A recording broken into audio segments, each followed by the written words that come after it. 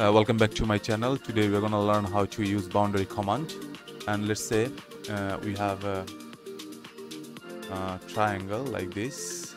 First we draw a triangle by line command.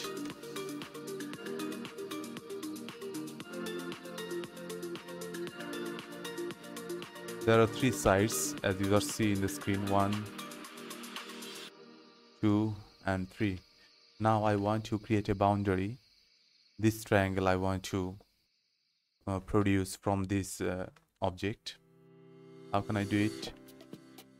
You get to write or type a command bu then select pick points.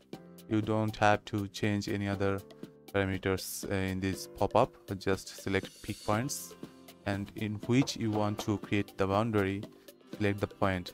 See that in the command prompt it is saying that boundary pick uh, in internal point. So this one my boundary.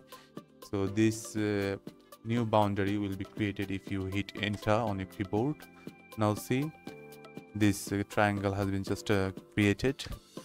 Uh, if you want to move it just uh, by move command then you can easily create a boundary here